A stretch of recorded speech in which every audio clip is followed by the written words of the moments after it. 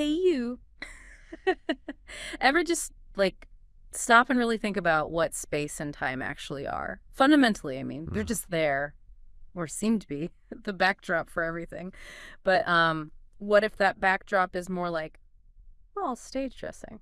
You sent over some really fascinating stuff from the 23rd Solvay Conference on Physics, the quantum structure of space and time. Seriously got me thinking. No, it's definitely a rabbit hole. And those Solvay conferences, they have such a history, right? Always tackling the biggest, deepest questions in physics. Right, like going way back. Exactly. Think about the early ones, 1911, talking about radiation and quant the birth of quantum mechanics, pretty Mhm. much. Or uh, 1927, the famous one where they hashed out the interpretation of quantum theory. Bohr, Einstein, all those guys arguing. Precisely. And this more recent one, focusing on space and time itself, it's totally in that tradition. David Gross even said in his opening talk they wanted to capture that spirit of the really early game changing meetings. I love that. Connecting back to the history. In Gross's phrase, the stormy marriage of quantum mechanics and relativity, that really stuck with me. It's perfect, isn't it? Describes the situation so well. These two um, amazing theories, general relativity and quantum mechanics, but they just don't play nice together. Yeah, they seem to describe the universe in totally different languages, and the material you shared makes it clear these aren't new problems. The questions are just as deep, maybe deeper than they were a hundred years ago. Absolutely. And that's really the core of this deep dive, isn't it? This uh, pretty radical idea that maybe space and time, maybe they aren't fundamental. Oh, Yeah, that they could be emergent, that they bubble up from some deeper level of reality that doesn't necessarily have space and time built in from the start. It was a huge theme at the conference, according to the proceedings. okay. Emergent space-time. Let's uh, try to break that down. So the basic problem is quantum mechanics for the small stuff, general relativity for gravity, and the big picture, and they clash hard. Right. Quantum mechanics is all about probabilities, fuzziness, discrete packets of energy. General relativity is smooth space-time, geometry, determinism. They're built on fundamentally different principles. it's not just finding one equation to rule them all. It's like the philosophies behind them are different. Exactly. And out of that clash comes this idea maybe the space-time of general relativity isn't the starting point. Maybe it's an approximation, an effective description. Nathan Seiberg's talk really focused on this. Okay, so emergent space-time. It's like what like the wetness of water. Individual H2O molecules aren't wet, but put enough together and wetness emerges as a property. That's a great analogy, actually. Space-time could be like that collective property arising from more fundamental, non-spatiotemporal molecules of reality, whatever those might be. Okay, mine's slightly blown already. And then there's this ambiguous space thing you mentioned from string theory, T-duality. Right, yeah. That Yeah. adds another layer of weirdness. String theory has these things called dualities, where you can have two seemingly completely different descriptions of space-time geometry. Different shapes, different sizes. Potentially, yeah, different geometries. But the physics that happens in them turns out to be exactly the same. It's like having two different maps that look totally unalike, but always lead you to the same place. So, which geometry is the real one? That's the point. Maybe the question doesn't make sense at that fundamental level. Maybe the geometry itself is ambiguous. And it gets stranger when you try to look closely. How so? Well, the documents mention this. If you try to probe space at smaller and smaller scales, you need more and more energy, right? Uh huh. Makes sense. Higher energy is shorter wavelength. But in string theory, if you pump enough energy into your probe, the probe itself starts acting like a bigger extended object, like a string getting longer. Mm. So instead of seeing finer detail, you just start blurring things out again. Wait, so trying to look closer makes your magnifying glass effectively bigger. Kind of, yeah. There seems to be a fundamental limit to how precisely you can resolve space-time structure. You hit a wall where looking closer actually means looking bigger in a sense. That is counterintuitive. Wild. And this ties into the idea that even general covariance might not be fundamental, that cornerstone of Einstein's theory. It's a possibility raised in the material, yes. General covariance is the principle that the laws of physics are the same for all observers, regardless of how they're moving or how space-time is curved. Seems pretty fundamental. It does. But if space-time itself isn't fundamental, but emerges, then maybe the rules governing how things behave within that emergent space-time, like general covariance, are also emergent properties, not baked in from the start. Okay. My brain is definitely stretching now. Can we ground this a bit? You mentioned some examples of how space could emerge. Sure. The sources give a few. An early, simpler one comes from studying 2D gravity using something called matrix models. Matrix models, like arrays of numbers. Exactly. Just Yeah. matrices following quantum rules. And in certain limits, what pops out is an effective description that looks just like a two-dimensional space with gravity obeying general covariance. So the space and its rules weren't put in, they just happened from the math of the matrices? Pretty much. The spatial dimension and the gravitational rules emerged from the collective behavior of the matrix elements. It was a proof of principle in a simplified setting. Okay, that helps. What about more complex examples? A really big one, which the text implies was definitely discussed heavily at the conference, is the gauge gravity duality, or AD SCFT correspondence. Ah, yes, add SCFT. Heard of it. Sounds important and confusing. It's definitely both. But the, uh, the core idea is this really shocking equivalence.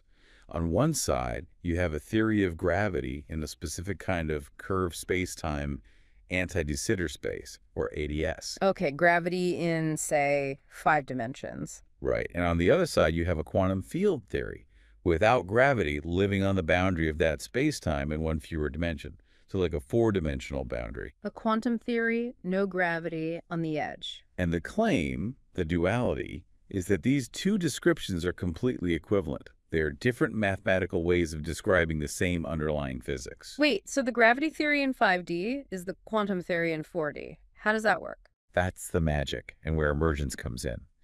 From the perspective of the boundary theory, the extraspatial dimension and gravity itself in the bulk spacetime are emergent phenomena. They arise from the complex interactions of the quantum fields living on the boundary. Like a hologram, a 2D surface encoding a 3D image. Exactly like a hologram. That's the perfect analogy. The boundary theory is like the holographic plate, and the higher dimensional spacetime with gravity is the projected image. The gravity and the extra dimension aren't in the plate itself, they emerge from it. Okay, hologram analogy helps. Still feels like science fiction, but Yeah. okay.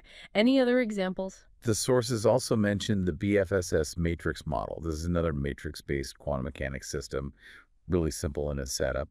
More matrices. Yep. But remarkably, the idea is that from the quantum dynamics of these matrices, you get the emergence of specifically one time dimension and nine spatial dimensions. Nine, not three. Nine in this model. And then, even more incredibly, the 10th spatial dimension is supposed to emerge holographically, sort of like an AdS/CFT.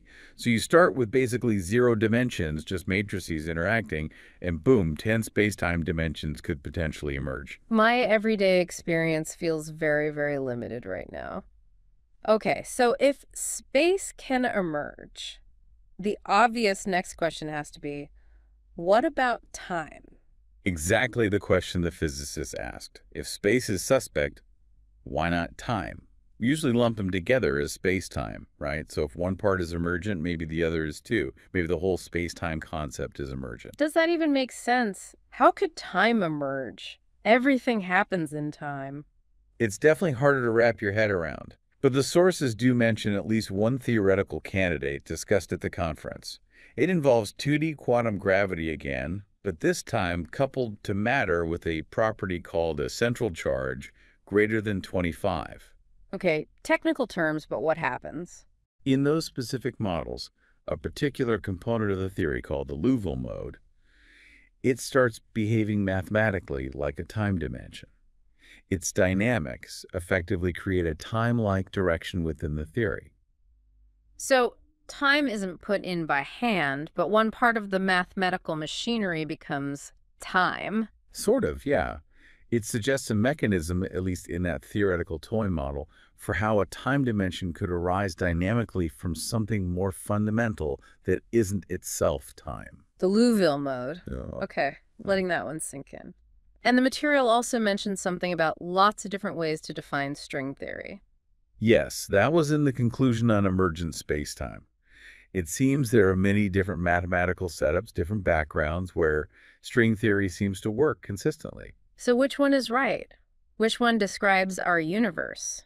That's the huge question.